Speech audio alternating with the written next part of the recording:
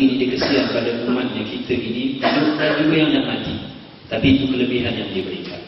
Which is dalam masa yang sama bila uh, ini berlaku menjadi penjawab kepada apa yang dinyatakan oleh Aisyah radhiyallahu anha isteri Nabi Muhammad sallallahu alaihi wasallam yang menyatakan bahawa ada satu hadis yang nampak kontra dengan ayat ini. Hadis itu uh, yang menyatakan bahawa Baginda sallallahu alaihi wasallam berdialog dengan orang-orang prajurit yang telah pun wafat meninggal dunia dalam peperangan Badar. Nabi berdialog dengan mereka yang dah mati ini. Nabi kata hal wajadtum ma wa'adakum rabbukum fa inni wajadtu ma wa'adani rabbi. Sekarang kamu nampak tak apa yang Tuhan janjikan pada kamu? Aku sesungguhnya dah nampak apa yang Tuhan ku janjikan pada aku.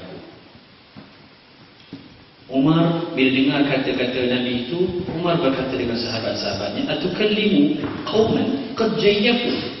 Boleh ke satu kaum, satu manusia yang dah berderai badannya, yang kering dah bercampur dengan tanah, yang dah mati, boleh lagi ke dia orang bercakap?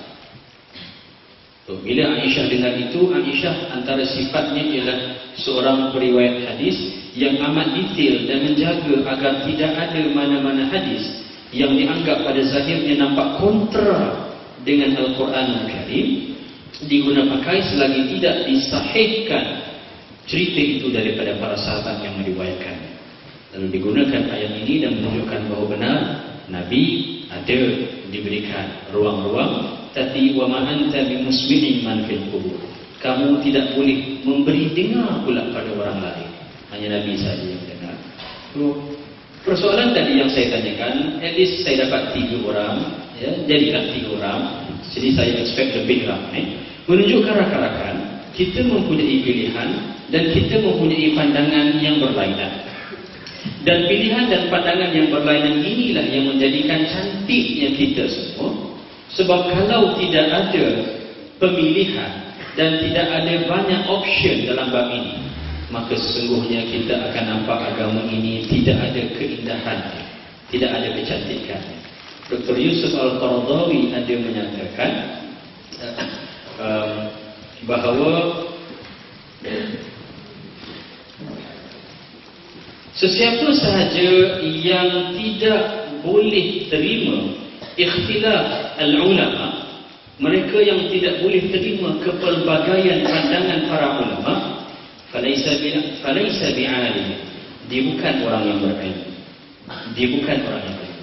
Dan yang kedua sesiapa yang tidak boleh terima perbezaan daripada sudut uh, ataupun ikhtilaf itu sendiri yang tak dapat terima ikhtilaf dan juga perbezaan juga kepelbagaian pandangan itu sendiri falam tashum anfahu raihatal fiqh mereka orang ini dia tidak hidungnya itu tidak akan dapat bau keharuman dan kewangian fiqh Islam itu sendiri.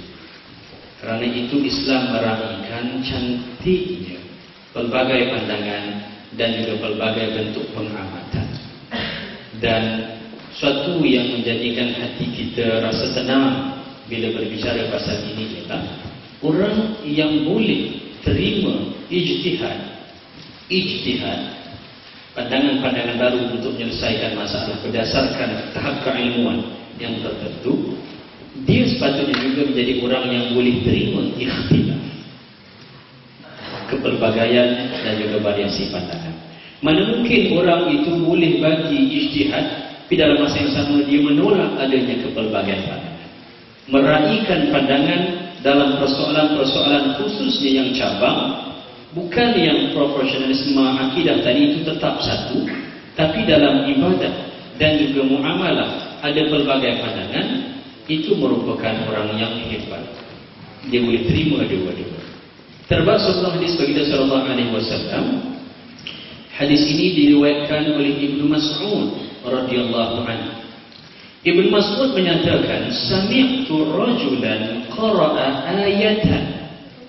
Suatu hari aku ada dengar seorang lelaki Rajulan Seorang lelaki Dan tidak dispesifikasikan lelaki yang mana satu Could be any guy. Qara'a ayatan Dia baca satu ayat Al-Quran dan tak sebut siapa nama lelaki itu. Rakan-rakan, kalau ada alif lam dalam bahasa Arab pada kata nama, dia merujuk kepada orang yang bercakap itu sudah mempunyai ketetapan dalam hatinya kepada siapa atau kepada apa yang dia rujukkan percakapan itu. Macam penggunaan the dalam bahasa Inggeris, the ataupun the, the house dengan the house. So when you say the house, maknanya kita dah tahu dah rumah tu, rumah tu, the Chinese contohnya. Main dia uang tu lah. Atau tempat-tempat yang lain. Kalau kita kata the man, orang itu, kita dah tahu dah siapa dia orang. Tapi yang ini tak disebutkan. Dan memang banyak dalam Al-Quran Al-Karim kisah-kisah penceritaan yang seperti ini. Watak tak penting. Siapa yang buat kerja ni tak penting. Siapa yang terlibat tak penting. Yang penting ialah apa yang nak diambil pengajaran daripada. Seperti dalam surah Yasin yang kita biasa baca. Ayat yang ke-20. Kalau tidak silap saya. Waja'a min aqsal madinati rajuli yas'an. Ya? Dan datang daripada ujung kota, luar bandar. Luar bandar itu nak menunjukkan bahawa dia bukan asal situ dan dia tidak mempunyai kepentingan dan dia itu merupakan orang biasa sahaja. Seorang lelaki tanpa disebutkan siapa dan tak perlu kita kaji dan cari siapa dia lelaki itu. Lelaki ini kata, wahai kaum sokonglah orang yang mengajak kamu untuk percaya kepada Tuhan ini orang yang tidak minta daripada kamu balasan upah ganjaran oleh kerana mesej dakwah yang dia sampaikan. Sokonglah mereka. Dalam hadis itu disebut sami'tu rajulan qara'a ayatan. Aku dengar seorang lelaki baca satu ayat.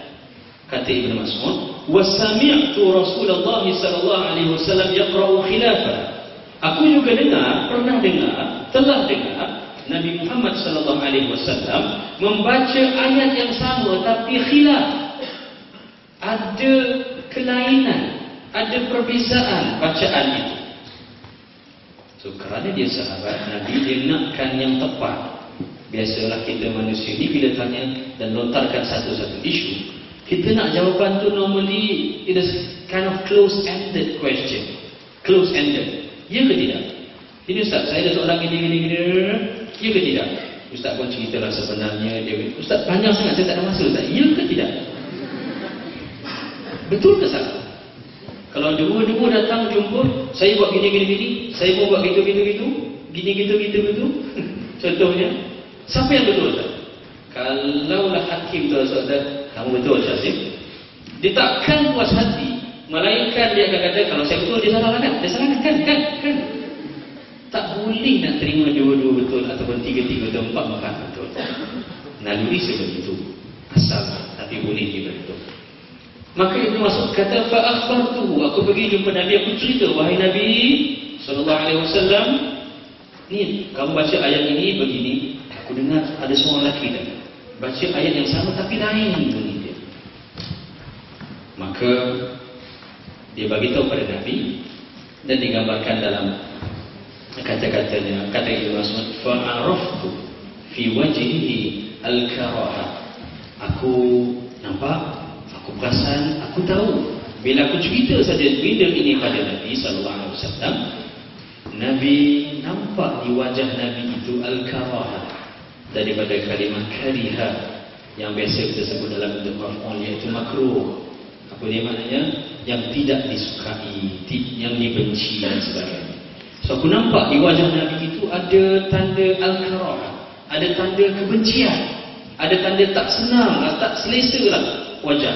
Macam tadi, bila saya tanya siapa nak jawab, ada tanda ketidakselesaan pada wajah, jelas terpapar. Tak payah pakai blusher, keluar ke tu. Kan?